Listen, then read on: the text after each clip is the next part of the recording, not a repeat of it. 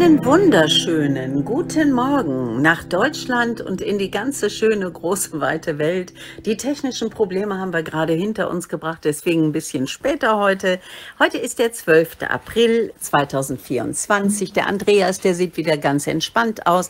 Der hat gerade versucht, hier technisch alles zum Laufen zu bringen und in der Tat, es ist ihm gelungen. Guten Morgen. Guten Morgen, liebe Eva. Eins der wichtigen technischen Probleme war übrigens unser durstiger Hund, dem ich gerade noch Wasser bringen wollte. Und das hat auch noch einen Augenblick gedauert. So, wir sind jetzt dabei. Also es lohnt sich nicht wirklich über das Wetter hier zu berichten. Wir haben einen regnerischen Tag.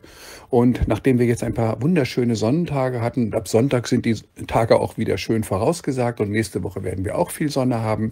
Aber jetzt haben wir eine Unterbrechung, so ein bisschen Nieselregen, ein bisschen grau und der Himmel ist bedeckt. Man sieht den See nur so schemenhaft durch eine ganz dünne Nebeldecke hindurch. Ich bin sicher, er changiert dahinter.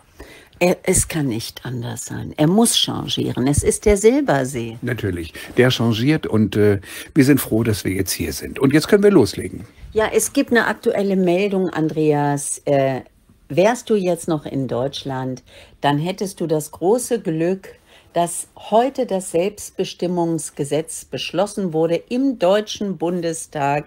Das bedeutet, dass ab dem 1. November 2024 jeder sein Geschlecht per Sprechakt, heißt es offiziell, ändern kann. Und zwar alle zwölf Monate. Das heißt, wenn du dann ab dem 1. November sagen würdest, du fühlst dich als Frau, dann darfst du erst wieder zwölf Monate später sagen, du fühlst dich als trans ja, also als ich im ersten Moment diesen Begriff Selbstbestimmungsgesetz gehört habe, da dachte ich, man könnte jetzt selbst bestimmen, ob man sich eine mRNA-Spritze geben lassen muss oder nicht oder was man essen darf, zum Beispiel gesunde Nahrungsmittel statt Füllstoffe von der Industrie oder so etwas oder Mücken oder sonstiges Ungeziefer. Das hatte ich gedacht. dass man daraus so eine unsinnige Kampagne macht, dass man gegen die Naturgesetze jetzt rechtlich verstoßen darf und das mit gesetzlicher Genehmigung, nach dem Motto, ich bin zwar als Mann geboren und äh, ich will es auch übrigens bleiben, aber wenn ich mich als Frau erkläre, dann hat das anerkannt zu werden. Daran erkennt man im Prinzip, wie völlig durchgeknallt diese Welt zurzeit ist. Ja, aber so fröhlich wie du lachst, so lustig ist es mitnichten. Denn wenn wir uns mal anschauen, was das eigentlich wirklich bedeutet, Tichys Einblick hat das ganz schön auf den Punkt gebracht. Äh, da wird berichtet, das gibt es ja schon in einigen Ländern. Schweden, Großbritannien, die Niederlande, die gelten als Vorreiter in Sachen Selbstbestimmung. Und äh, damit haben diese Länder es jedem Mann erlaubt, also umgekehrt natürlich auch, aber hier wird es pikanter, jedem Mann ist erlaubt, sich als Frau auszugeben und sich so Zugang zu Schutzräumen für Frauen zu verschaffen. Angefangen von der Frauensauna über das Frauenhaus bis hin zum Frauenknast. Und die Vorreiter sehen jetzt ihre Fehler ein, kehren der Reihe nach um. In Deutschland aber ist es anders, da läuft die Ampel den Irrweg jetzt erst recht entlang. Und das Ganze unter Federführung von Justizminister Marco Buschmann von der FDP. Es gibt Widerstand, es finden nicht alle toll. Und zwar kommt der Widerstand jetzt von einer Gruppe, die in den jeweiligen Anfangsjahren der Parteien SPD und Grüne zum Beispiel wichtige Stützen für deren Politik waren. Das sind nämlich die sogenannten Frauenrechtlerinnen ich vermeide mal jetzt hier den Begriff Feministinnen. Und äh, die demonstrieren heute auch oder haben demonstriert vor dem Reichstag, während drinnen SPD, Grüne und FDP, also die berühmte Ampel, dieses Selbstbestimmungsgesetz in der finalen Abstimmung durchsetzen konnten. Andreas, man äh, kann sich das kaum vorstellen, auch wenn, sagen wir mal, jetzt man in einem Kaufhaus als Frau Klamotten anprobiert, dann kann es sehr gut sein, dass äh, sie einem Mann begegnet, der direkt daneben ist. Aber wenn sie sagt, er ist ein Mann, macht sie sich strafbar. Naja, also es ist schon wirklich an Irrsinn kaum noch zu überbieten. Also ich gehe ja noch weiter. Wenn ein männlicher Vergewaltiger sich während seines Prozesses dann plötzlich zur Frau selbst umdeklariert im Rahmen seiner freien Selbstbestimmung, dann kann er wahrscheinlich darauf sogar hoffen oder davon ausgehen, dass er dann in den Frauenknast verlegt wird, wie du es gerade schon gesagt hattest. Das heißt, ein Vergewaltiger geht in den Frauenknast und kann da sein Unwesen eventuell weitertreiben. Da können die Frauen nicht mal weglaufen. Es ist ja eine so irrsinnige Situation, ähm, dass einem kaum noch etwas einfällt. Das Problem ist einfach, wir haben uns komplett von den Gesetzen der Natur verabschiedet und fangen an, im Prinzip in diesen Grundlagen unserer eigenen Existenz irgendwelche Ablenkungsmanöver umzubauen, reinzubasteln, um von der irrsinnigen Politik einer völlig verfehlten Energiepolitik und so weiter und so fort abzulenken. Das ist die Absurdität in Tüten. Es, du hast es gerade gesagt, ja, es ist historisch. Historisch, wenn man die gesamte Menschheitsgeschichte anschaut, denn so etwas Verrücktes hat es wahrscheinlich vorher noch nicht gegeben. Vielleicht vor ein paar Milliarden Jahren, wo wir uns nicht zurückerinnern können, gab es ähnliche Phasen schon mal. Aber äh, das Ganze gipfelt ja jetzt in einer Hybris des Menschen, dass jeder, also wenn man mal jetzt nach der Bibel geht, Gott erschuf erst den Mann, dann die Frau, diese beiden Wesen zur Begründung der Menschheit. Klar, mhm. ohne diese Konstellation geht ja auch gar nichts, was Nachwuchs angeht. Und äh, jetzt wird alles durcheinander gebracht. Das heißt, man greift in das Werk Gottes ein. Ja, und zwar wirklich ohne Wenn und Aber, ohne jedwede Demut, ohne jedweden schlechten Gewissen, weil die Dunkelheit und diese dunklen Gedankenformen mittlerweile so viele Menschen erreicht hat, dass sie gar nicht mehr rauskommen. Wir müssen uns noch einmal klar machen um vor allem eben halt auch die Angst rauszunehmen von denjenigen, die noch halbwegs gerade ticken. Derjenige, der sich gedanklich mit seinen Gedankenformen, wir haben oft darüber gesprochen, richtig ausrichtet und sagt, es ist absoluter Bullshit, um es ganz deutlich zu machen, dass Mann und Frau Geschlechter einfach wechselbar sind. Das ist einfach Bullshit, an Dummheit nicht zu überbieten. Wenn ich aber tatsächlich saubere, reine, und zwar ähm, schöpfungskonforme Gedanken hege, dann gebe ich diese Gedanken heraus die gehen in den Äther. Ich bleibe selbst mit diesen Gedankenformen verbunden. Man könnte sie quasi sichtbar machen, weil Gedanken sind nicht feinstofflich, sondern grobstofflich. Das ist so wichtig, das zu verstehen. Und es gibt das, An das Gesetz der Anziehung der Gleichart. Andere Gedanken, die genauso sind wie meine, verbinden sich mit meinen Gedanken. Es entsteht eine Gedankenzentrale, die immer größer wird und auf die Urdenker zurückfällt. Und selbst wenn der ganze Himmel stockdunkel ist mit dunklen Gedankengängen und nur ein paar weiße Flecken dabei dabei sind, zu denen ich gehöre, können die dunklen Flecken mir nichts antun, weil es gegen die Anziehung der Gleichart verstößt. Das ist so eine ganz wichtige Grundlage, dass man keine Sorge haben muss, dass wenn man richtig steht, die Konsequenzen der Dunkelheit mitzutragen hat. Mhm. Wir reden dann auch eben von der Wechselwirkung. Was der Mensch sät, wird er vielfach ernten. Damit ihr hört, wie diese Abstimmung heute im Bundestag ausgegangen ist, die Union, also CDU, CSU, die AfD und das Bündnis Sarah Wagenknecht haben das Gesetz abgelehnt. 374 Abgeordnete stimmten dafür, 251 dagegen und 11 haben sich enthalten. Ja, was soll ich dazu sagen? Der Irrsinn hat eben halt eine Übermacht. Ja, die Ampel ist dabei, solange sie noch am Ruder ist, alle Gesetze, die sie sich einst in den Kopf gesetzt haben, durchzupeitschen. Die heutige Sendung ist fast ein einziges Beispiel dafür, wie im Gegensatz zu anderen Ländern in Deutschland im Moment die Sache auf die Spitze getrieben wird.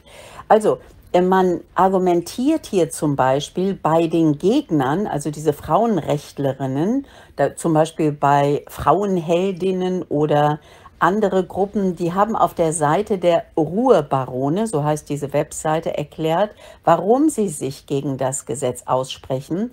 Dieses Gesetz verletze die Schutzräume für Frauen, gefährde die Meinungsfreiheit und die Rechtssicherheit. Und die Frauenheldinnen, die schildern Fälle von Vergewaltigern, die zum Beispiel sich in schottische Frauengefängnisse verlegen lassen wollten und von Männern, die Frauensport ad absurdum führen, indem sie dort die Realität der Biologie über das Wunschdenken der Ideologie siegen lassen. Oder auch von spanischen Offizieren ist die Rede, die sich haben als Frauen eintragen lassen, ohne auch nur den Namen oder das Aussehen zu verändern.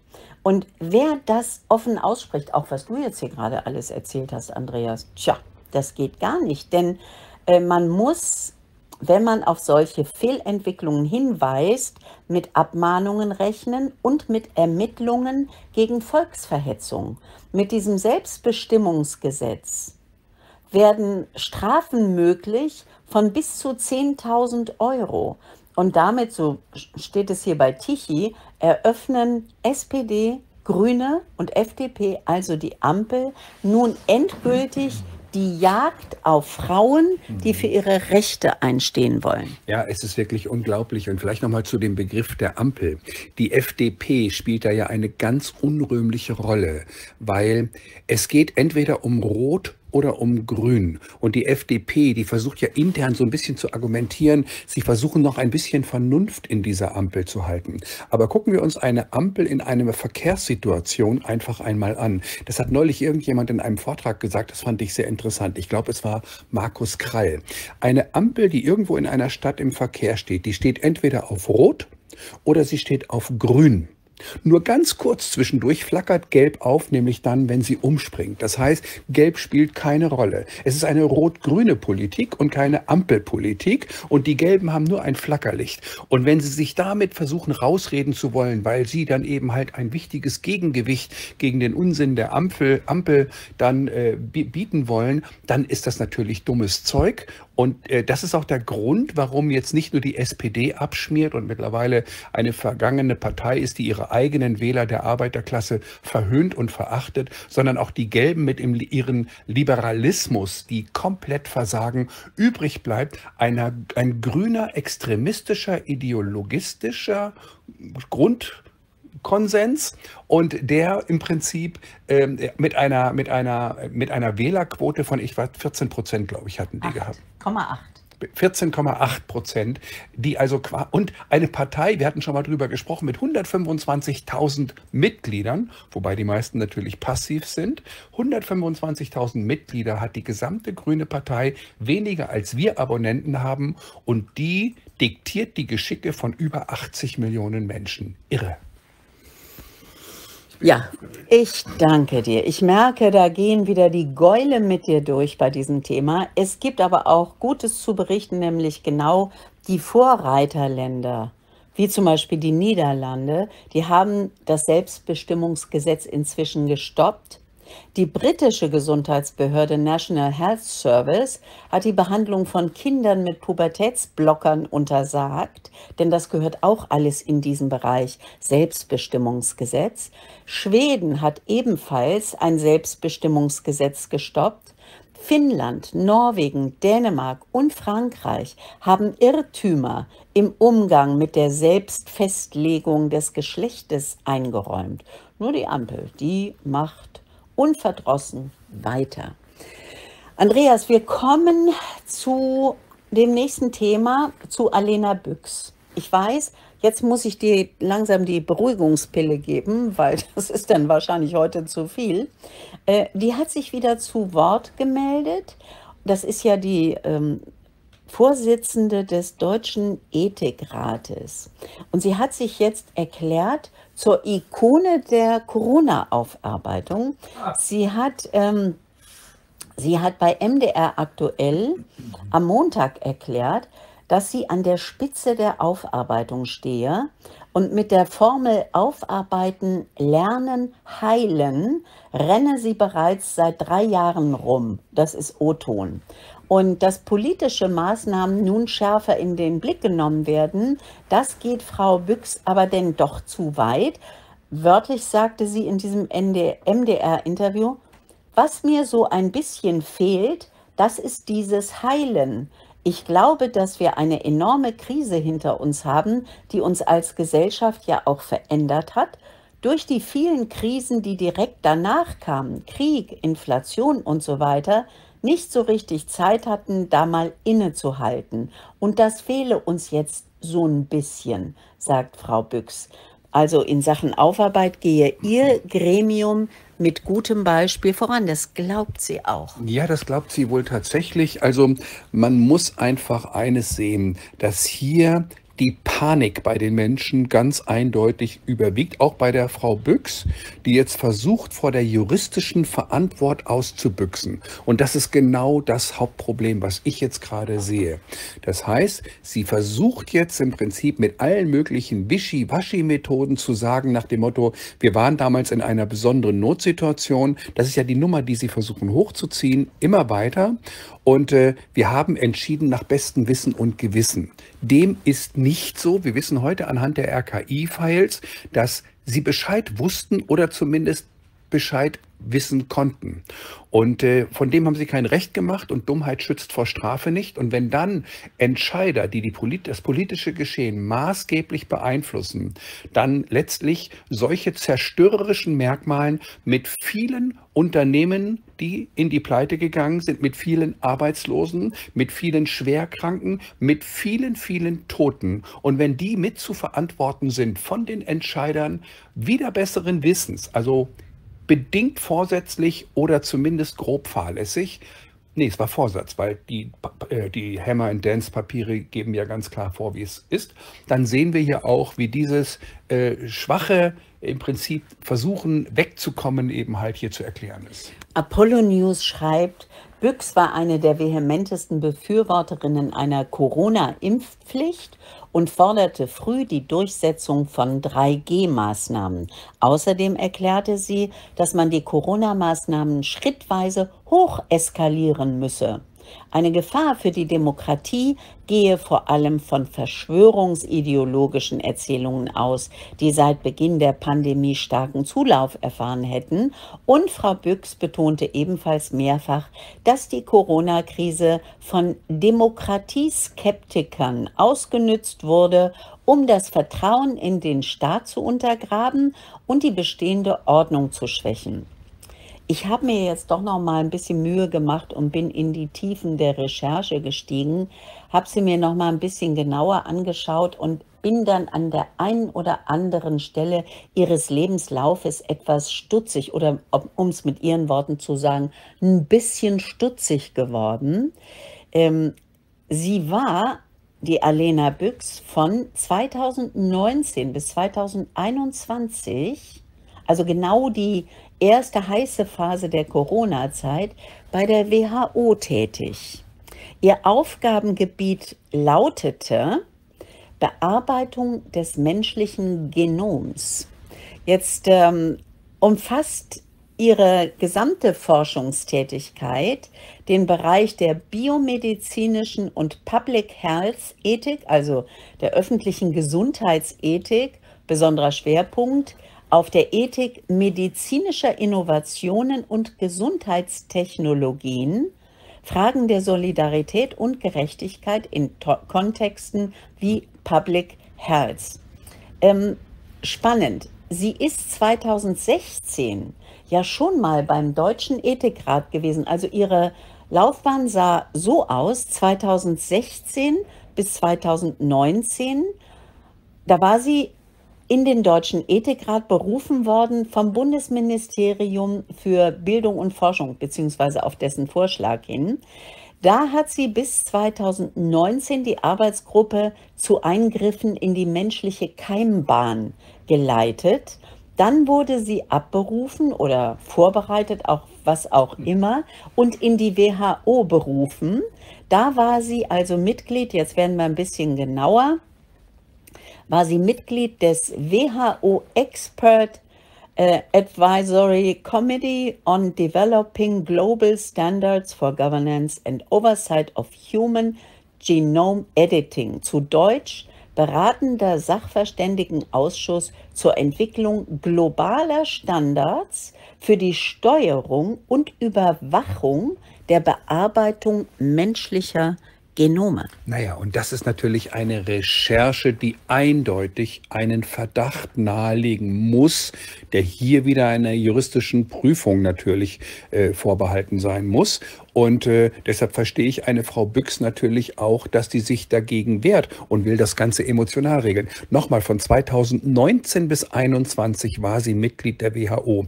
Wir wissen, dass im Oktober 2019 im, äh, dies große Manöver für die Corona für das Szenario aufgebaut wurde, unter der Leitung unter anderem mit von Bill Gates. Wissen wir heute alle. So, und dann sind die Dinge dargestellt worden. Und dazu sehen wir ihre Expertise und ihre ganz klare Abrichtung genau in diesem Fachgebiet.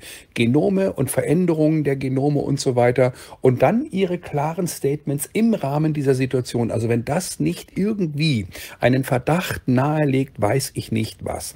Vielleicht nochmal zur Frage, was ist überhaupt ein Genom? Das Genom ist ja also quasi auch Erbgut, wird das ja genannt, oder Erbmasse eines Lebewesen oder ist eines oder ein Virus beispielsweise ist die Gesamtheit der materiellen Träger der vererbbaren Information einer Zelle oder eines Viruspartikels. Beide haben also Genome. Aber sie war ja für die menschlichen Genome zuständig. Naja, gut, aber Chromosomen, das ist im Prinzip die Desoxyribonukleinsäure, das ist die sogenannte DNA oder DNS.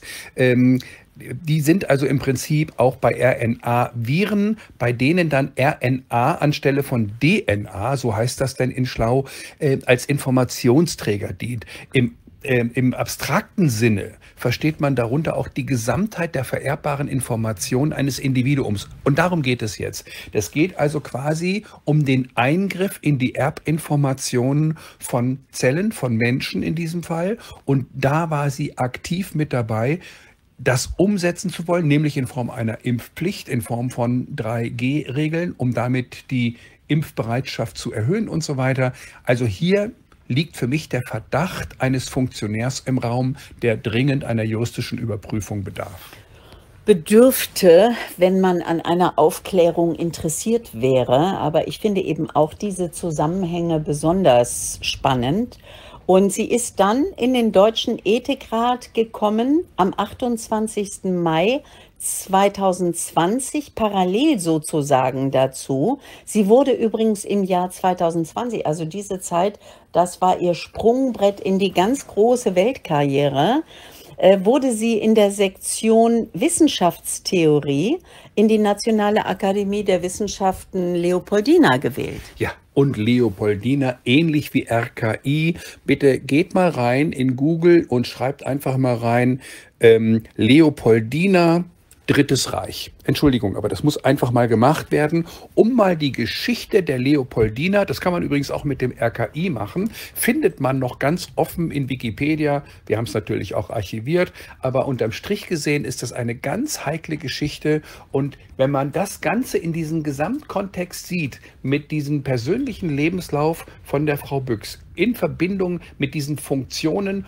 kurz bevor die Corona-Aktion umgesetzt wurde, aus meiner Sicht generalstabmäßig, dass man sie in bestimmten Funktionen dann entsprechend eingesetzt haben könnte. Das ist der Verdacht. Und dieser Verdacht müsste geprüft werden. Nun ist ja uns allen aufgefallen, dass die WHO, die ja einstmals sich für die Gesundheit auf dem Planeten ähm, ja zur Verfügung gestellt hat, im Auftrag von wem auch immer, dass die ja jetzt ihr Arbeitsgebiet auf das Thema Klima ausgeweitet haben.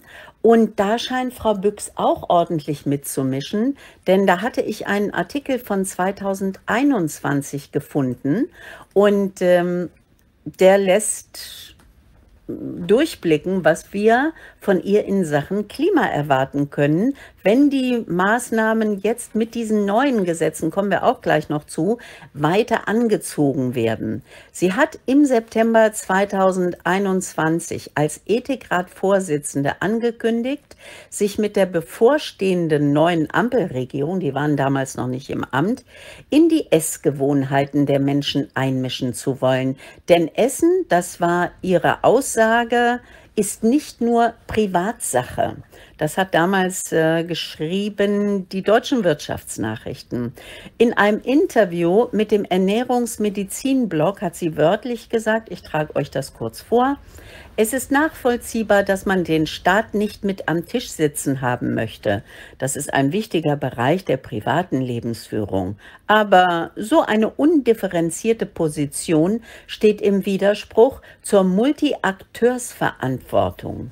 Es ist eben nicht nur Privatsache, was ich esse, denn meine Ernährung hat auch viele Effekte nach außen hin. Krankheitskosten, soziale Kosten, ökologische Kosten, also Klimakosten und so weiter. Und diese werden von der Gesellschaft getragen. Richtig. Und da gibt es dann eben halt keine Selbstbestimmung bei dem Menschen, der selbst entscheiden kann, welche Risiken er in Kauf nimmt und auch welche Risiken er anrichten könnte, sondern das macht man dann eben halt in solchen Sachen wie einer Geschlechtsbestimmung. Ich möchte noch mal kurz zu den Leopoldinern eingehen, wo sie ja, die Frau Büchs, ihre Kontakte hatte. Die sind also im Dritten Reich gerade im Bereich der Euthanasie hervorragend aufgetreten, hervorragend nicht im Sinne von gut, sondern hervorragend, es ragte hervor. Das ist eine ganz heikle Geschichte und die Leopoldina sich mittlerweile immer noch, ich denke hier an, 19, an 2021, da haben die Leopoldina zum Beispiel Empfehlung zum assistiertem Suizid abgegeben. Also auch das in Zeit Online wird das übrigens sogar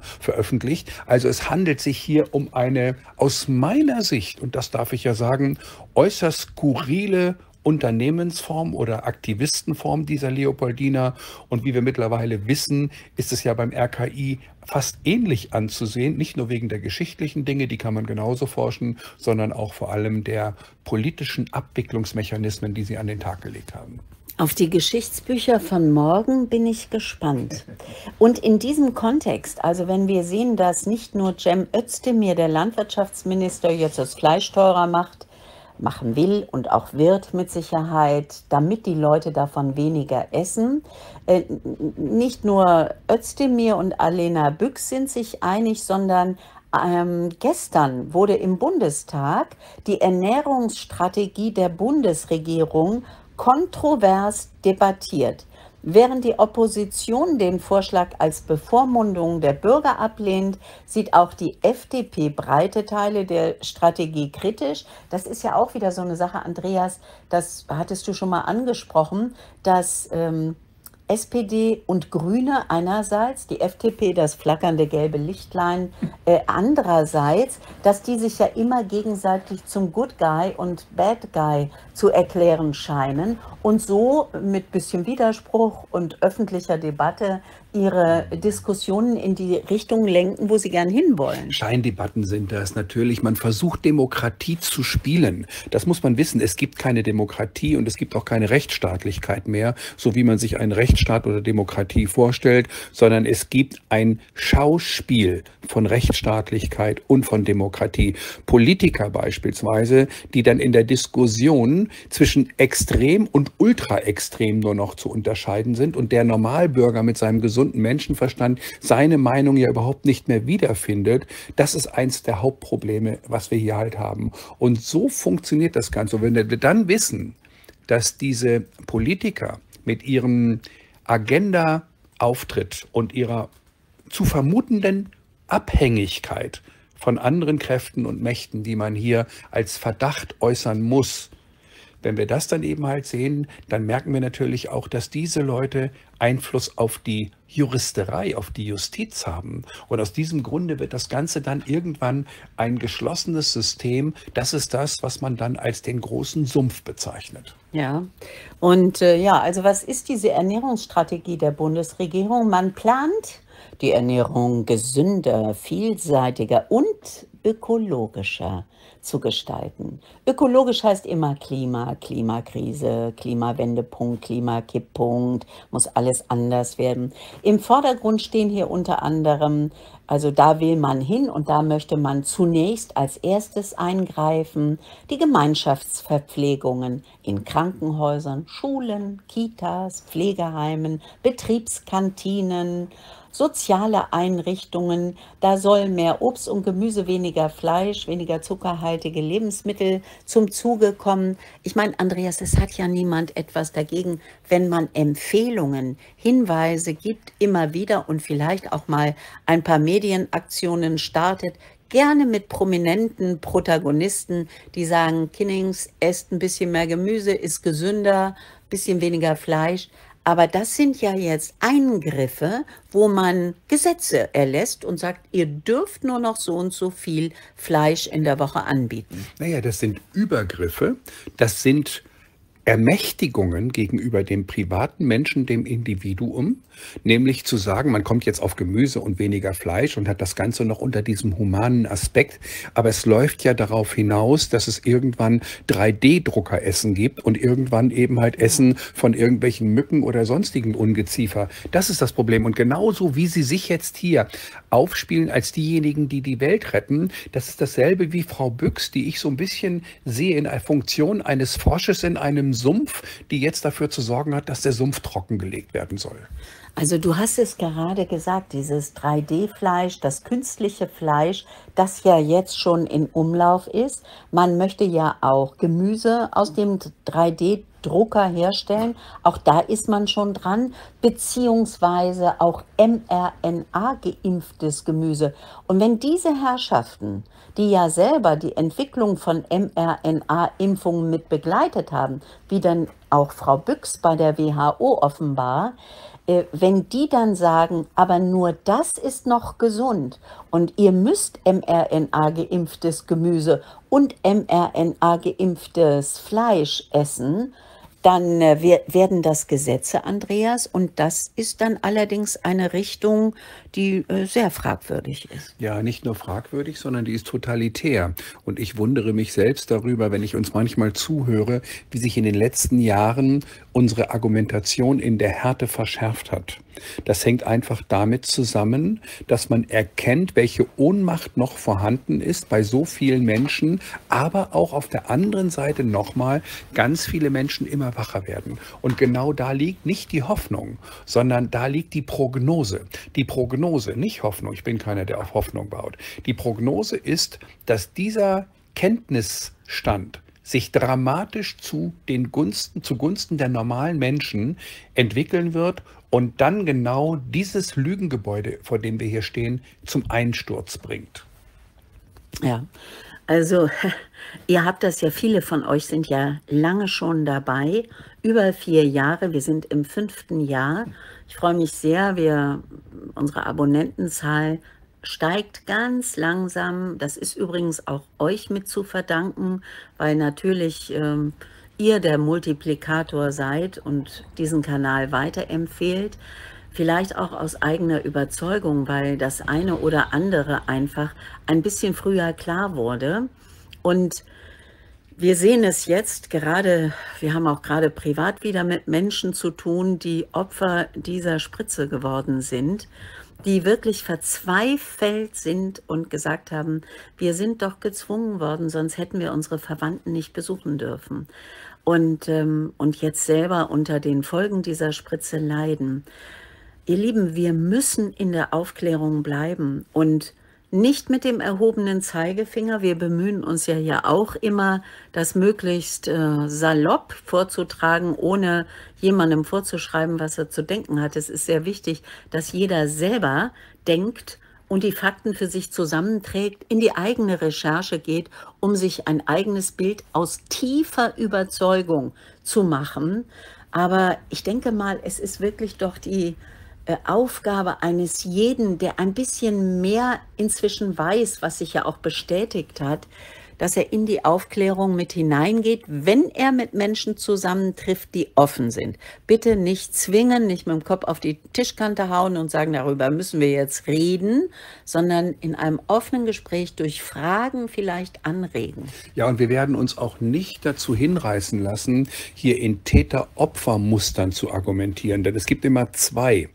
Einer, der die, der die Straftat eventuell oder eben halt das Dunkle ausführt und ein anderer, der die Straftat oder die Dunkelheit auch annimmt in irgendeiner Form, oft durch Unwissenheit, oft durch Unvorsichtigkeit, durch Trägheit oder was auch immer. Und deshalb geht es darum, wie ist die Zukunft? Und wer jetzt sich versucht, immer mehr zu öffnen, wieder für die Freiheit und zu versuchen, auch diese Dinge wie die RKI-Files, die ja offenbar für eine Weltpolitik insgesamt sprechen. Es geht nicht nur um Corona, es geht um Krieg, es geht um Klima und all diese Dinge. Und wir sehen anhand der RKI-Files, wie gearbeitet wird.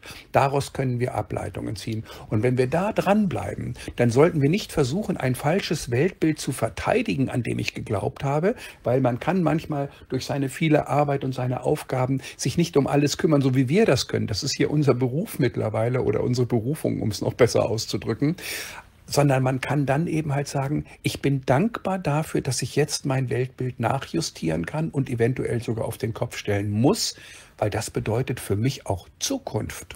Ja, und vor allem an jeder Entscheidung werden wir eines Tages gemessen. Das heißt, bevor man irgendeiner einem Aufruf aus Politik und Medien blindlings folgt, sollte man dreimal überlegen, ob man das tut. Ja, das ist jetzt schon wieder Hass und Hetze hier von unserer Seite, wenn es nach Nancy Faeser und ihren neuen Gesetzen geht. Aber wir müssen, solange es geht, über die Dinge reden. Andreas, und es hört ja auch nicht auf mit diesen verrückten Ideen auch innerhalb der EU. Man, ähm, also Wissenschaftler, die sich kritisch äußern, die sind raus, die sind äh, ja diskriminiert worden, denunziert worden, die sind enteignet worden zum Teil. Ich denke mal an Professor Hockertz aber auch viele andere, die geflohen sind aus Deutschland, wie Bodo Schiffmann. Ähm, die sind also alle in die Schmuddelecke geschoben worden. Dafür sorgen dann schon die Haltungsjournalisten im Mainstream, auch eine so hinterfragenswerte und würdige Haltung. Und äh, jetzt gibt es neue Fakten, nämlich am Mittwoch, dem 10. April vorgestern, hat das EU-Parlament in Brüssel für eine Einigung mit den nationalen Regierungen über ein neues Zertifizierungssystem für die Entnahme von CO2 gestimmt. Was bedeutet das? Also ist schon ganz interessant. Also man spielt das Spiel einfach weiter. Mit diesen neuen Regeln wird jetzt ein Register für zertifizierte Einheiten von CO2 eingerichtet. Das heißt, man schafft damit einen Bewertungsmaßstab, um industrielle oder natürliche Prozesse zu berechnen, jetzt kommt's, wenn es um die Entfernung von CO2 aus der Atmosphäre geht. Man will also CO2 aus der Atmosphäre herausholen. Die Hybris kennt ja keine Grenzen. Man will also offenbar einen neuen, wenn aus meiner Sicht auch unsinnigen, Markt für abgeschiedenes CO2 schaffen und den Akteuren, Unternehmern zum Beispiel, damit Anreize bieten, atmosphärisches CO2 zu entnehmen und dann zu speichern. Also viel Geld, welches investiert wird in irgendwelche unsinnigen Maßnahmen, äh, zulasten natürlich der Realwirtschaft. Die Grundfrage nach der Sinnfreiheit ist ja überhaupt nicht mehr zu stellen. Und diese Politik erinnert mich hier auch wieder an die RKI-Files und deren damit verbundenen Entmachtung der seriösen Wissenschaft um die Macht der Kapitalsammelbecken nämlich zu erhöhen, also der sogenannten Philanthropen, Philanthropen, die sich dann die NGOs wie die WHO dann zum Beispiel halten, damit sie dann namentlich natürlich nicht selbst auftauchen müssen. Also wenn ich hier höre, Register für zertifizierte Einheiten von CO2, da kommt mir irgendwie gleich auch dieses Social Credit System in den Kopf, denn äh, das ist ja das, wonach zum Beispiel in China vieles eingeordnet wird, dass äh, man sozusagen ähm, diese Einheiten auch nicht übersteigen darf. Ansonsten na, egal, kommen wir mal zu der Abstimmung zurück. Die führende EU-Abgeordnete für dieses Dossier, die heißt Lydia Pereira. Und die zeigte sich hoch erfreut. Sie sagte, sie sei wörtlich begeistert zu sehen, dass Landwirte jetzt eine zusätzliche Einnahmequelle aus der CO2-Abscheidung haben könnten. Und äh, in einem aktuellen Artikel schreibt Euraktiv, das Portal dazu, die EU-Gesetzgeber erzielten in den frühen Morgenstunden am Dienstag, den 20. Februar, eine politische Einigung über den Vorschlag zur Einrichtung des weltweit ersten Registers, also kein anderer hat das sonst auf der Welt, nur die EU, äh, des weltweit ersten Registers für zertifizierten CO2-Abbau durch ökologische Anbaumethoden und industrielle Prozesse. Die EU-Kommission hat das Ziel vorgeschlagen, die Treibhausgasemissionen bis 2040 um 90 Prozent gegenüber dem Stand von 1990 zu senken. Um dieses Ziel zu erreichen, müssten nach ihrer Schätzung 280 Millionen Tonnen CO2-Äquivalent abgeschieden werden. Ja, die Paradoxien, die alleine darin stehen, die sind ja schon äh, kaum noch zu beschreiben. Das wäre ja schon wieder eine Sondersendung. Äh, Landwirte zum Beispiel sind diejenigen, die durch den normalen landwirtschaftlichen Anbau, natürlich biologisch bevorzuge ich auch ganz klar, dann muss man sie besser bezahlen. Das könnte man auch regeln, denn eine Landwirtschaft ist der beste CO2-Speicher überhaupt, weil nämlich das CO2 in die Pflanzen hineingeht und damit quasi in den Boden Boden kommt. Also, es sind aber immer dieselben Muster der Darstellungsversuche, um die Menschen dann im Schwitzkasten der Angst zu halten. Weil zum Beispiel Köln bedroht sei, eine Küstenstadt zu werden, wegen des steigenden Meeresspiegels, wissen wir ja, das haben wir alles schon gehabt. Wenn es nicht alles so absurd wäre, dann könnte man darüber lachen. Es geht aus meiner Sicht darum hier, die Bauern, die für die Ernährung der Menschen in ihrer Region zuständig sein sollten, nämlich nach dem Regionalprinzip, wir sind wieder bei dem Thema, mit unsinnigen Pseudomärkten, nämlich CO2-Speicherung, die eine hohe Rendite versprechen, natürlich übrigens auf Kosten der Steuerzahler und damit sollen dann die Landwirte von ihrer ureigenen Aufgabe abgelenkt werden. Das Ergebnis wird dann eine weltweite Hungersnot sein. Das kann man einfach hochrechnen, die man heute quasi schon einleitet, um dann industriell die Nahrungsmittelproduktion auf bestimmte Industrien umzustellen. Dann sollen aus meiner Sicht alle Menschen von diesen Monopolstrukturen abhängig sein, um überhaupt noch an ich sag mal, Überlebensmittel heranzukommen oder besser gesagt die produzierten Füllstoffe. Da sind wir wieder bei den 3D-Druckern und der Basis von Ungeziefer böseste Verschwörungen, die ich hier höre? Nein, Verdacht. Verdachtsmomente, okay. Also ihr seht, äh, ich halte es für Spekulation. Das kann ja gar nicht sein. Das glaube ich nicht, dass die sowas vorhaben und so böse wären. Ne? Jetzt habe ich das, glaube ich, entkräftet. Aber trotzdem, ähm, das Ganze wird ja noch ausgestattet mit einer Art Pseudoseriosität. Und man hat das Gefühl, dass einem ganz ernste Diskussionen vorgespielt werden, mit denen man oder in denen man dann um die richtigen Entscheidungen ringt. Man darf in Frage stellen, ob das so ist, dass wirklich echte Kritiker zu Wort kommen.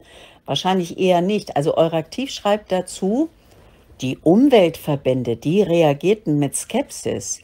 Der Referent für Landwirtschaft und Klima beim Europäischen Umweltbüro, Mathieu Mall, der wies auf die Fragezeichen und roten Flaggen des neuen Gesetzes hin und erklärte, dass die Art und Weise, wie die Vorschriften umgesetzt werden, darüber entscheiden würden, ob das neue Gesetz zu einem Instrument für Greenwashing werde, das letztlich die Klimaschutzmaßnahmen weiter verzögere. Also mit anderen Worten, wir müssen hier mit maximaler Härte die Klimamaßnahmen umsetzen und es könnte sein, dass das immer noch nicht reicht. Und hier haben wir wieder genau dieses Muster der angeblichen Diskussion zwischen den Meinungen, der Wettbewerb der Ideen und so weiter, also demokratisch angeblich. So funktioniert das System.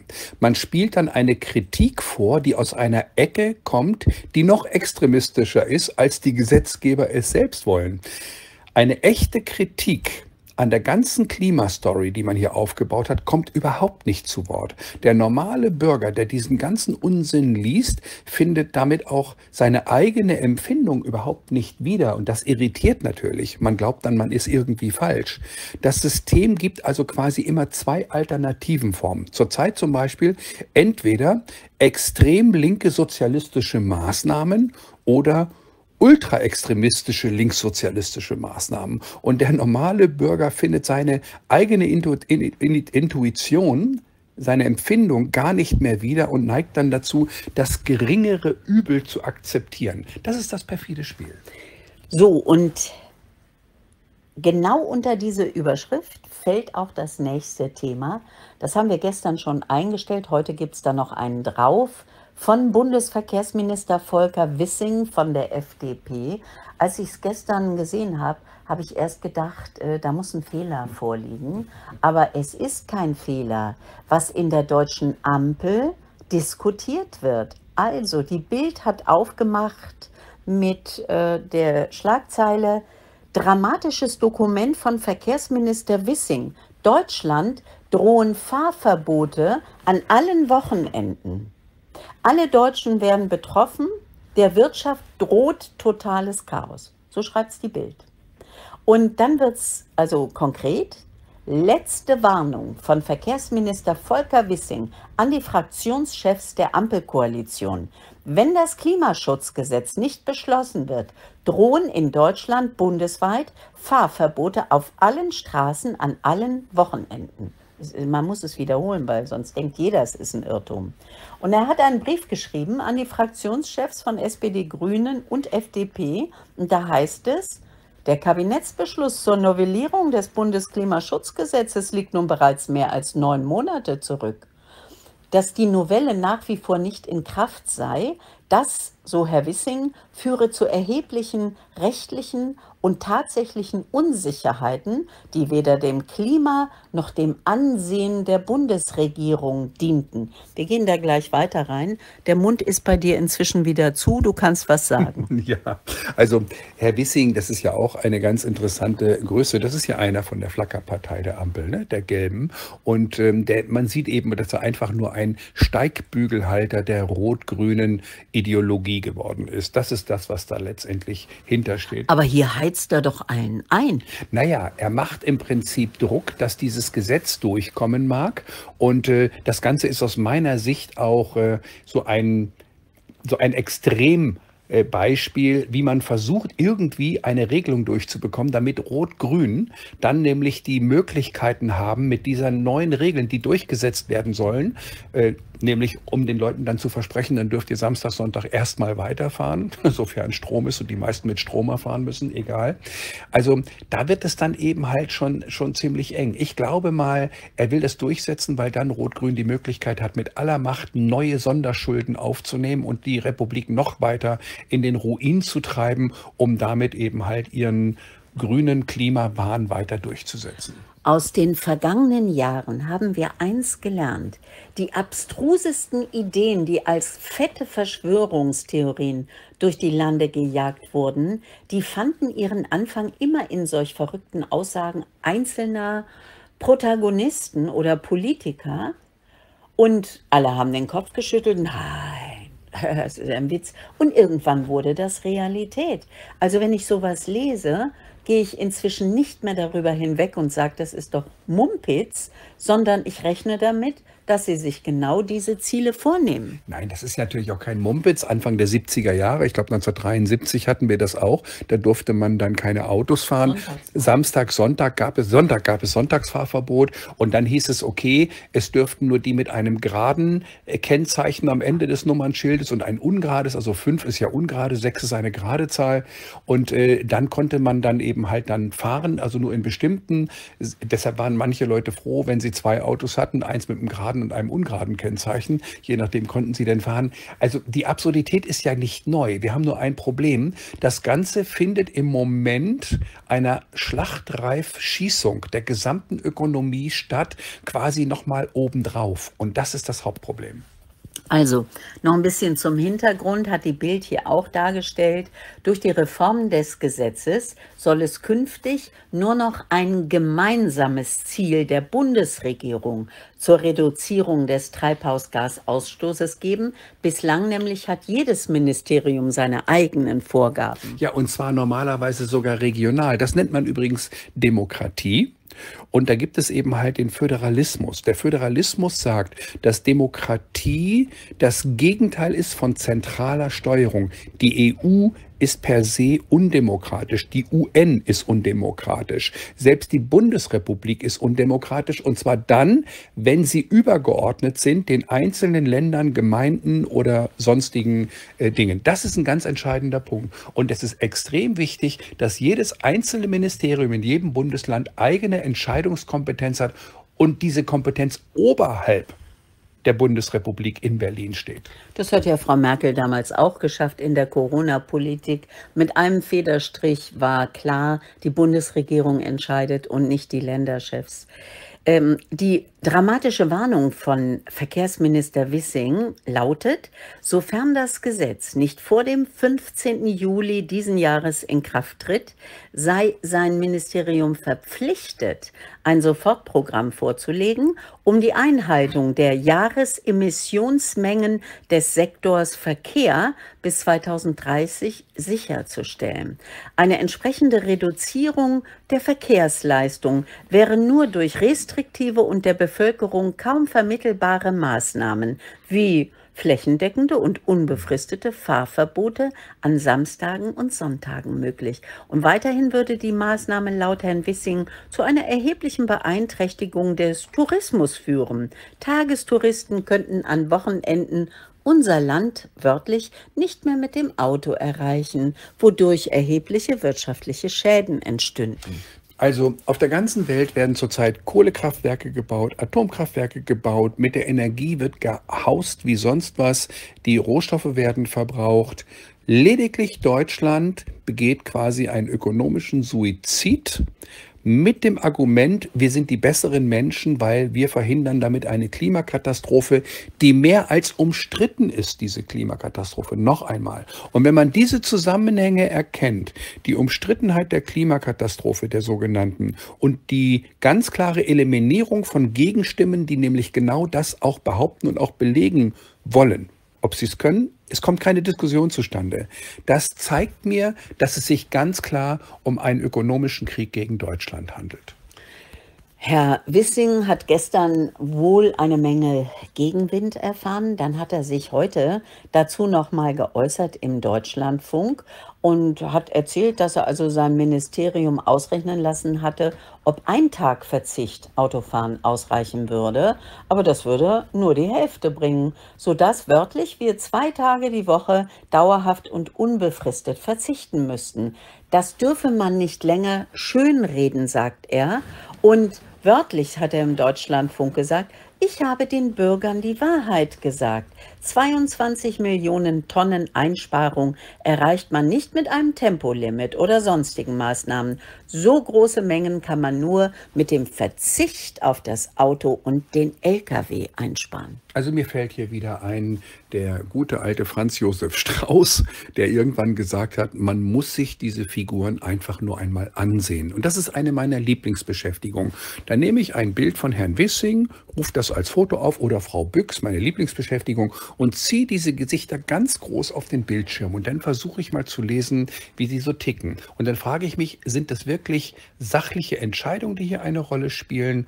oder ganz andere Faktoren. Ja, und wenn du dir die Bilder eine ganze Weile anguckst, hast du natürlich wahnsinnig viel schon verändert in der Welt. Das bringt ja gar nichts mehr. Wieso meinst du das? Ja, ja, also ich meine, ich meine, das ist eine Maßnahme für einen selber vielleicht, aber das sind ja hier Dinge, Andreas, normalerweise müsste doch ein Aufschrei durch die Gesellschaft gehen. Äh, vielleicht habe ich es übersehen, vielleicht habe ich nicht lange genug gesucht, aber ich habe nichts gefunden. Nein, du hast ja völlig recht, aber unsere Zuhörer sind ja nun wirklich nicht erkenntnisresistent, sondern unsere Zuhörer, die beschreiben uns, die schreiben uns ja auch Mails, geben uns Informationen, geben uns auch viel Feedback und auch vor allem auch viele Informationen, die für uns wichtig sind, die wir hier mit einbauen können. Und an der Stelle noch einmal ganz herzlichen Dank für die Leute, die uns da immer wieder Informationen zukommen lassen, die für uns so wichtig sind. Und daran erkennen wir, dass diese Erkenntnis für uns natürlich alle klar ist. Und wir sind ja alle daran und sind in einer Art Widerstand des inneren Widerstehens. Das ist ja der entscheidende Punkt. Und insofern ist es trotzdem ganz gut, nochmal zur Sicherung, sich diese Figuren einfach mal aufs Gesicht groß auszuziehen auf den Bildschirm. So, also nächste Meldung, Schlag für deutsche Stahlindustrie. ThyssenKrupp will Kapazitäten und Stellen abbauen. Es heißt, 27.000 Mitarbeiter hat der Stahlkonzern ThyssenKrupp Steel in Deutschland. Davon allein 13.000 Beschäftigte in Duisburg, Nordrhein-Westfalen. Aber diese blicken nun in eine ungewisse Zukunft, denn um sich den gegebenen Marktbedingungen anzupassen und sich zukunftsfähig aufzustellen, sei eine Neuausrichtung des Konzerns geplant. Dazu soll unter anderem die Produktionskapazität von rund 11,5 Millionen Tonnen auf ungefähr 9 bis 9,5 Millionen Tonnen gesenkt werden. Das hat der Vorstand des Unternehmens in einer Aussendung mitgeteilt. Und äh, worum geht es? Es geht natürlich um die Wettbewerbsfähigkeit, äh, die in Deutschland einfach nicht mehr gegeben ist. Und zwar, wie es hier in der Meldung heißt, äh, durch den Vorstand, ähm, die hohen und durch klimapolitische Zielsetzungen weiter steigenden Energiekosten sowie ein ungebremst steigender Importdruck überwiegend aus Asien und eine sich weiterhin verschlechternde Handelsbilanz Stahl, die in Summe zu einer verminderten Branchenwettbewerbsfähigkeit führen. ThyssenKrupp Steel hat diese Faktoren in einer detaillierten Analyse bewertet, gestützt durch ein unabhängiges externes Gutachten. Ja, ich kann nur kurz wiederholen, was ich gerade in meinem letzten gesagt habe, in meiner letzten Aussage. Auch hier ein Beweis für die massive massiven Angriffe oder den Krieg gegen die deutsche Ökonomie. Und das sind die ganzen Auswirkungen. Wieder eine. Ja, im Vergleich zu China oder gar dem Atomstrom-Nachbarland Frankreich zahlen deutsche Unternehmen, das sei noch dazu gesagt, immer noch 75 Prozent mehr für Strom. Zudem hatten unter anderem Chemie und auch Aluminiumindustrie den Wegfall der Befreiung von Netzentgelten durch den selbstverschuldeten Ampelsparkurs kritisiert, der die Produktion weiter unwirtschaftlich machen wird. Ja, das kommt von der Status AT, ein österreichisches Portal. Und ähm, sowieso die Stromkapazitäten in Deutschland, die sind ja mehr als wackelig und auch nicht mehr sehr zuverlässig. Und wir haben auch seit vier Jahren in unserem Portfolio-Berichten hier das Thema Blackout immer wieder thematisiert. Und das wird auch weiterhin uns im Griff halten. Es gibt einen Artikel in der Märkischen Allgemeine, da heißt es in einer Überschrift, Oranienburger Stadtwerke offenbaren gravierende Engpässe in der zukünftigen Stromversorgung. Andreas, wir sind ja nun selbst als alternative Denker von zwei Szenarien ausgegangen. Entweder Stromausfall oder Stromverweigerung durch Zuteilungspausen, also zeitliche Stromausfälle. Aber die Stadtwerke Oranienburg, das ist ja eine Stadt in Brandenburg, ca. 41.000 Einwohner, die haben noch ein weiteres Mittel gefunden. Am 10. April wurde auf der Webseite der Stadtwerke Oranienburg Folgendes bekannt gegeben. Kapazitätsengpass im Stromnetz der Stadtwerke Oranienburg. Dazu hat Mr. Blackout ein Video gemacht, das haben wir gestern hier auch eingestellt, Worum geht es da jetzt genau in Oranienburg? Also wir sagen ja auch immer wieder, wie wichtig es ist, wenn mal der Strom ausfällt für eine gewisse Zeit, dass dann eben halt die Überbrückung, und da sind wir ja immer und reden über diesen Ecoflow, und das ist wirklich eine wichtige Sache. Aber hier geht es eben halt um einen weiteren Punkt. Naja, man teilt also nicht nur den Strom, also in Zeitphasen zu, wie wir das immer bisher gesehen haben, sondern man verweigert manchen Bürgern sogar die komplette Stromversorgung. In dem Artikel auf der Website von den Stadtwerken Oranienburg, da steht ganz klar und deutlich, Anmeldungen von Hausanschlüssen können nicht mehr genehmigt werden. Wow. Man muss sich mal überlegen, was das jetzt bedeutet.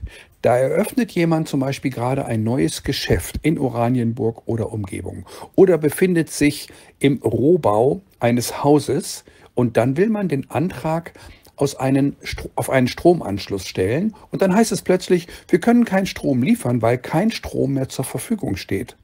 Das Argument, dass der Betreiber des vorgelagerten Hochspannungsnetzes keine zusätzliche Leistung zur Verfügung stellen kann, das wird wohl kaum einen Verbraucher überzeugen.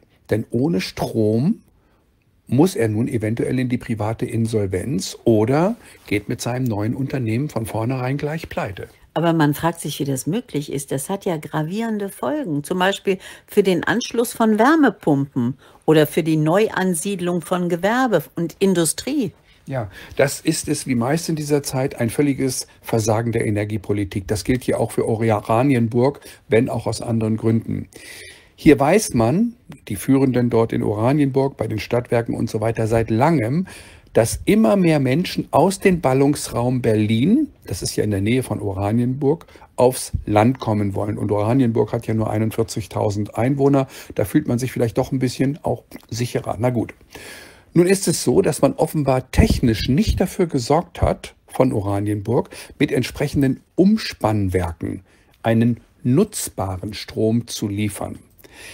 Man muss dazu kurz technisch etwas wissen, dass die Hochspannungsleitungen Strom, die man so kennt, diese großen, die so tief durchhängen, mit einer Stärke von 110.000 Volt liefern. Und diese 110.000 Volt, die kann man nicht einfach in einen Toaster oder in eine Schreibtischlampe reinlassen.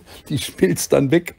Also das geht nicht. In den Orten des Verbrauchs müssen also durch Umspannungstechniken diese riesigen Stromdimensionen auf eine nutzbare Größe herunter reduziert werden. Und wenn man aber politisch versäumt, das umzusetzen, dann gibt es halt keinen Strom mehr für die Bürger oder Firmen. Also die Stadtwerke Oranienburg GmbH, die haben am Montag die Bundesnetzagentur darüber informiert, dass im vorgelagerten Hochspannungsnetz keine ausreichende Leistung für die wachsende Stadt Oranienburg zur Verfügung gestellt werden kann. Wörtlich sagt der Geschäftsführer der Stadtwerke, damit sind die Versorgungsmöglichkeiten in der Stadt Oranienburg ausgeschöpft. Das ist ein totales Novum. Haben wir noch nie gehört vorher. Aber da sagt man einfach, der Geschäftsführer der Stadtwerke, die Versorgungsmöglichkeiten sind ausgeschöpft. Und die schon seit über einem Jahr angeforderte zusätzliche Kapazität kann am Umspannwerk des vorgelagerten Hochspannungsnetzbetreibers aus dem Stromnetz in Oranienburg nicht bereitgestellt werden. Was heißt das? Also für die Kernstadt von Oranienburg und Sachsenhausen könnte das zum Beispiel bedeuten, dass in den nächsten zwei bis drei Jahren einfach nicht mehr gebaut werden kann. Und das, obwohl man so bauen muss, wo man sagt, wir haben keine Unterkünfte mehr. Ähm, zumal ja die Bevölkerung massiv steigt, ohne dass die Geburten steigen. Man hat ja in Oranienburg zum Beispiel auch noch zwei Solarparks, aber nachts scheint auch die Sonne nicht. Ganz einfaches Prinzip. Nochmal zu den Stadtwerken Oranienburg, das ist vielleicht ganz wichtig. Die bringen am Tag 325.000 Kilowattstunden an Strom und pro Tag 178.000 Kilowattstunden für Heizung und Wärme dort in das Gebiet. Das ist schon ganz gut. Und der Part mit den 178.000 für, für die Heizung und Wärme wird jetzt immer mehr durch die Wärmepumpen und der Part mit den 325.000 Kilowattstunden, also dem Strom, wird immer mehr durch die E-Autos überstrapaziert. Also man bringt in Oranienburg jetzt einfach das letzte verzweifelte Mittel, der gescheiterten Energiepolitik, man liefert einfach keine weiteren Stromanschlüsse mehr. Ansonsten gefährdet man ja die gesamte Stromversorgung. Neubauten bekommen also keine Heizungen mehr und E-Autos keine Ladestationen. Ja, klasse. Also die machen jetzt den Anfang in Oranienburg. Ehrlich gesagt, wenn ich da wohnen würde, würde ich mir schleunigst ein Stromaggregat zulegen oder ein EcoFlow, Kerzen, Streichhölzer genügend Wasser. Ihr lieben Stromausfall kann vieles bedeuten, aber auf jeden Fall ist es eine sehr unangenehme Angelegenheit, wenn man nicht vorgesorgt hat. Und wenn ich diesen ganzen Wahnsinn im Sinne äh, der Klimakipppunktpolitik betrachte, Andreas, dann ist natürlich die nächste Meldung, die ist von Telepolis veröffentlicht worden, die klingt wie blanker Hohn. Chinas Boom bei der Kohleverstromung gefährdet die globalen Klimaziele, heißt es. China hätte zwar in den vergangenen Jahren Fortschritte gemacht bei den erneuerbaren Energien, das Land ist aber auch führend bei klimaschädlichen Energien und im letzten Jahr wurden so viele Kohlekraftwerke gebaut und genehmigt wie seit neun Jahren nicht mehr. Naja, klar, sie boomen natürlich. Wenn ich alleine daran denke, wie viele deutsche Unternehmen nach China gehen, weil sie eben halt in Deutschland die CO2-Richtlinien nicht einhalten können, um dann in China den billigen Strom zu haben, wo es eben halt keinen interessiert. Vielleicht auch darum, weil man weiß, dass diese Klimadebatte eben halt auch absurd ist und eigentlich nur eine Kriegsstrategie letztendlich beinhaltet. Das geht überhaupt nicht um Umwelt und um Klima, aber das sind eben halt die Faktoren. Und aus diesem Grunde müssen sie natürlich auch erhöht bauen. Das Problem ist oder das Nachsehen hat Deutschland. Die verlieren ihre Industrie und China boomt und platzt aus allen Nähten.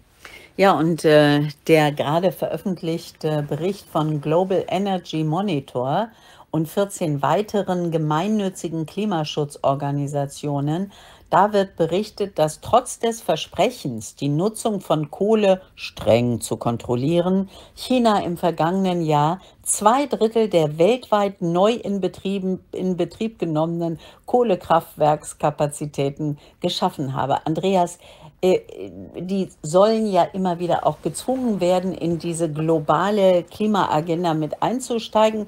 Die nicken auch, die sagen, ja klar machen wir das ganz sicher, aber in Wirklichkeit machen sie das nicht und haben es offenbar auch überhaupt nicht vor. Also es ist ja eigentlich ganz logisch zu analysieren.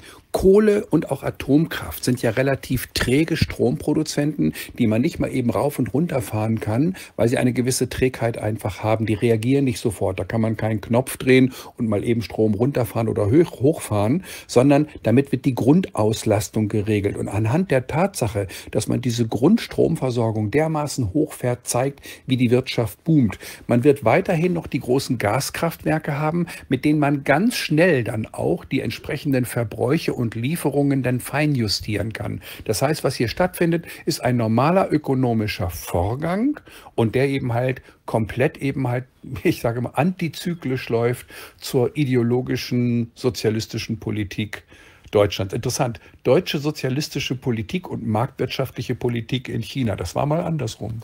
Ja, und mit der EU ist es ja auch jetzt nicht mehr so weit her mit dem Green Deal. Also offenbar merkt man da auch, Ursula von der Leyen, die hatte ja so schöne Ideen, wie sie den Green Deal den Leuten in allen möglichen Berufen und Abteilungen aufs Auge drücken kann. Aber Apollo News schreibt jetzt in der Überschrift, Nichts mehr mit Green Deal. EU macht Sicherheitspolitik zur Priorität Nummer eins. Und äh, in diesem neuen EU-Strategiepapier, das die Leitlinien der EU-Politik für die nächsten fünf Jahre nach der kommenden Europawahl festlegen soll, ist das ehemals so gehypte Thema Klimaschutz nur noch weit abgeschlagen zu finden.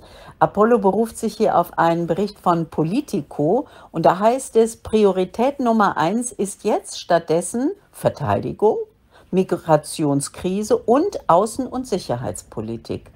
2019 war der weit oben auf der strategischen Agenda ähm, wichtigste Punkt der Klimawandel den man da äh, eine existenzielle Bedrohung genannt hatte. Da haben wir ja alle mitbekommen.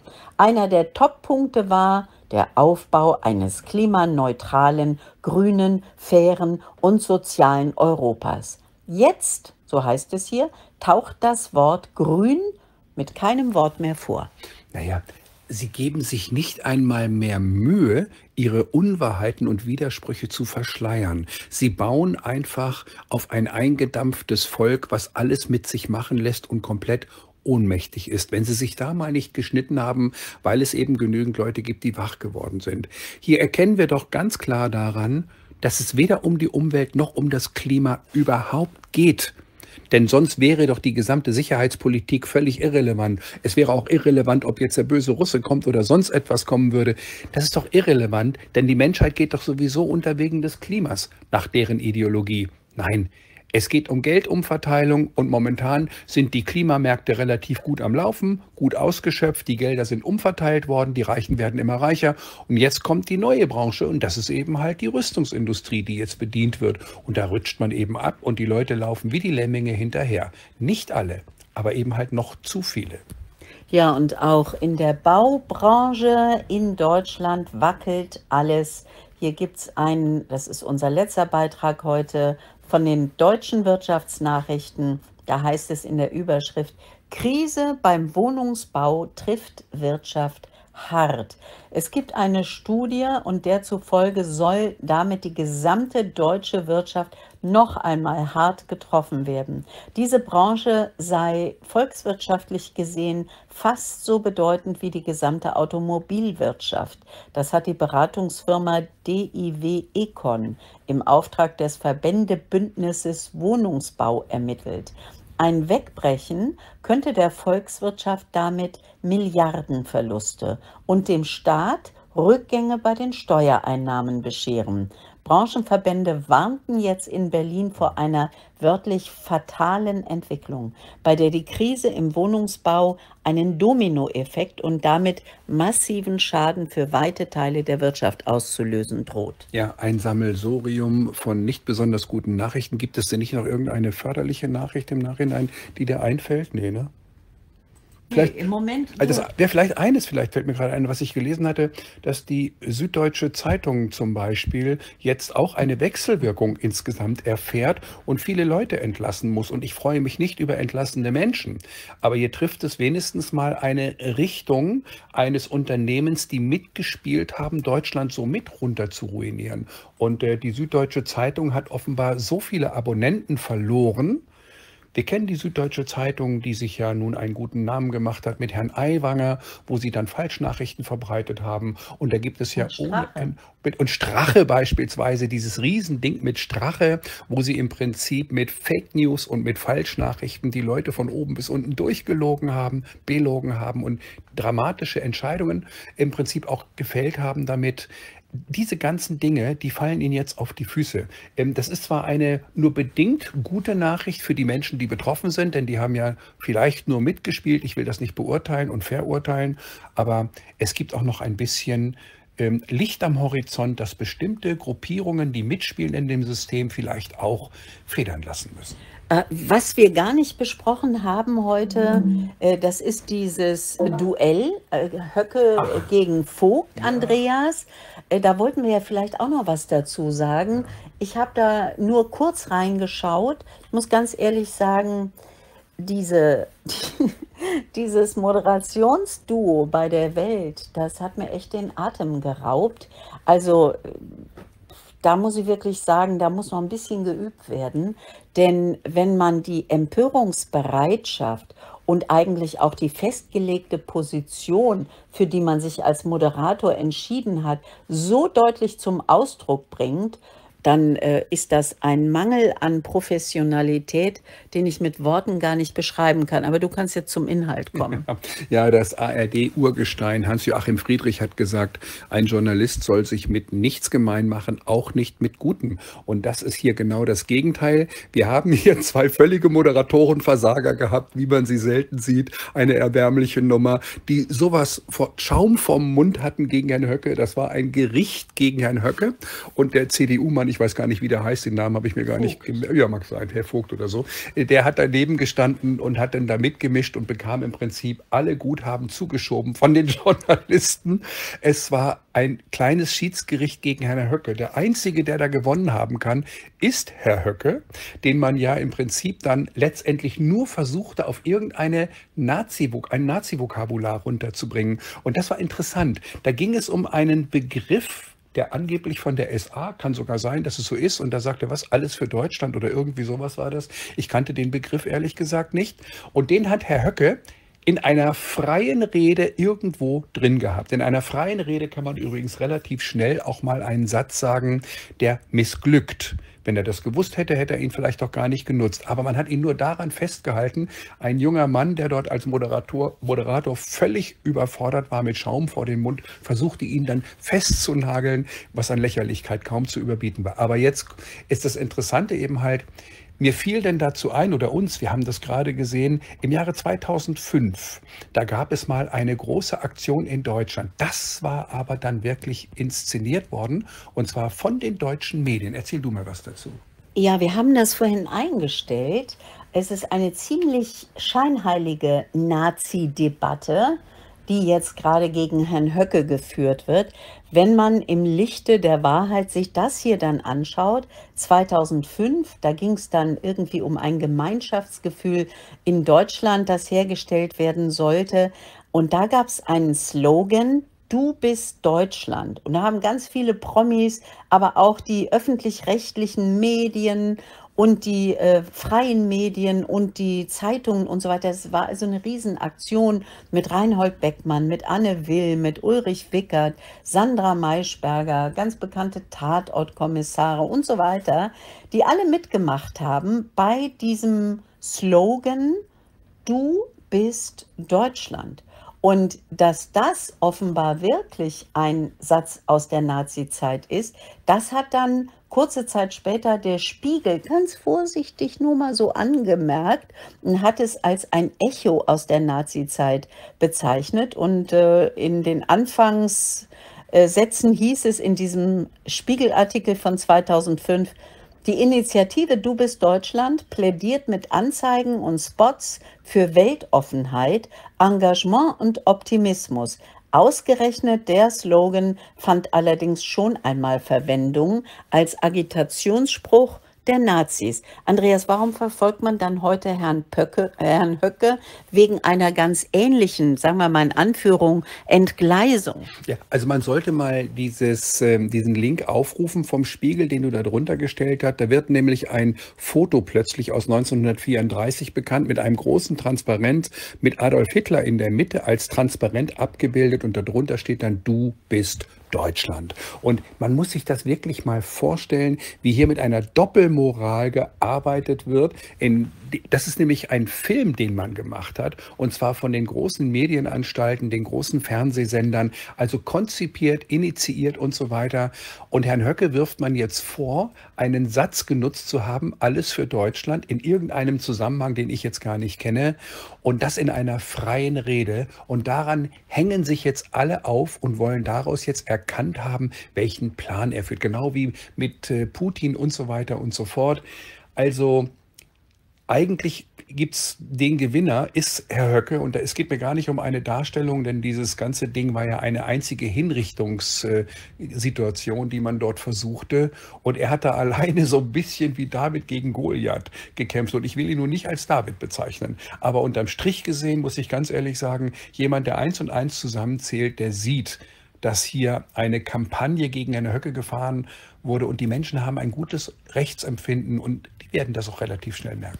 Es ist immer wieder die Sache mit dem zweierlei Maß.